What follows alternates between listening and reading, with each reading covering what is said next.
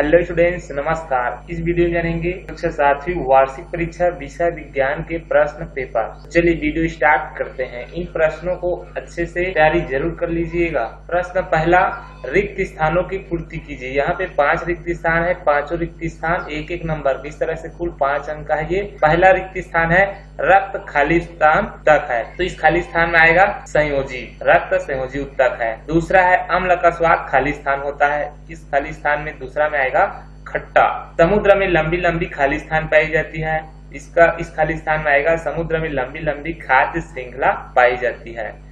चौथा है, जल एक खाली स्थान विलायक है। तो चौथा में आएगा, जल एक सार्वत्रिक विलायक है। पांचवा एच टू खाली स्थान का सूत्र है। इस खाली स्थान में आएगा, एच टू जल का सूत्र है। प्रश्न दूसरा है, सही विकल्प चुन कर लिखिए। ऑक्सीजन का सूत्र है, ये है का सही ऑप्शन घ ओ टू। दूसरा है, इनमें से तत्व है, इन चारों ऑप्शन में से सही है ग तांबा। तीसरा है, नम त्वचा द्वारा शोषण करते हैं, इसका सही ऑप्शन है ख, जोक। चौथा है, सूर्य से पृथ्वी तक पहुँचने में लगभग कितना समय लगता है? इसका सही ऑप्शन है घ, आठ मिनट। पांचवा है श्वास लेना तथा छोड़ना कहलाता है। इसका सही ऑप्शन है घ स्वाक्षवास। प्रश्न तीसरा है, इनके उत्तर दीजिए, कोई न यहाँ पे जो दस प्रश्न है, इनमें से कोई भी नौ प्रश्न को उत्तर देना है। प्रश्न पहला है रेगिस्तान तथा समुद्र की एक एक खाद्य श्रृंखला बनाइए। दूसरा है, तत्व किसे कहते हैं? तीसरा, अम्ल क्या है? चौथा है, उष्मा के सुचालक किसे कहते हैं?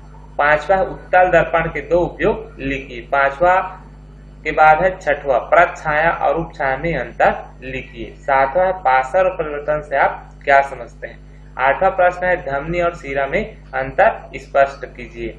इस तरह से आठ प्रश्न हो गया, दो और प्रश्न है जो आगे बता रहा हूँ। इन दस प्रश्न में से कोई भी जो याद है, उनमें से कोई भी नौ प्रश्न का उत्तर लिखना है। प्रश्न नौवा है, ब्रिक कहाँ स्थित होते हैं? प्रश्न दसवा है, किसी वस्तु को कितने प्रकार से अवशोषित किया जा सकता है? इस प्रकार से दस प्रश्न हो गया। प्रश्न चौथा इनके उत्तर दीजिए। तो यहाँ पे आठ प्रश्न है, जिनमें से कोई भी छह प्रश्न का उत्तर देना है। पहला प्रश्न है, संवेदी तंत्रिका किसे कहते हैं? दूसरा है पादप हार्मोन के नाम लिखिए। तीसरा, हड्डी और उपास्थि में क्या अंतर है? छठवा है, अनुवर्तन किसे कहते हैं?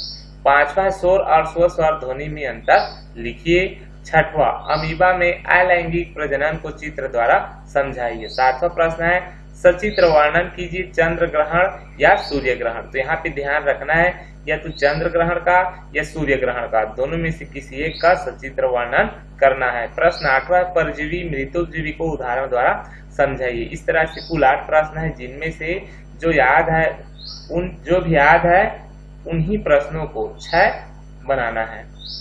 प्रश्न पांचवा है अंतर ज्ञात कीजिए कोई तीन। यहाँ पे चार अंतर दिया है जिनमें से जो याद है, उनमें से कोई तीन अंतर ज्ञात करना है। पहला है अलैंगिक जनन एवं लैंगिक जनन, दूसरा है नियमित तथा अनियमित परिवर्तन, तीसरा है स्वपोषी तथा परपोषी पोषण विधि, चौथा है अम्ल एवं क्षार। तो इस तरह से ये प्रश्न है, इन प्रश्नों को अच्छे से ज़रूर तैयारी कर लेंगे। वीडियो पसंद आया तो लाइक ज़रूर कीजिएगा। चैनल को सब्सक्राइब नहीं किया है तो सब्सक्राइब करके बेल आइकन को प्रेस ज़रूर कर लीजिएगा। हम आज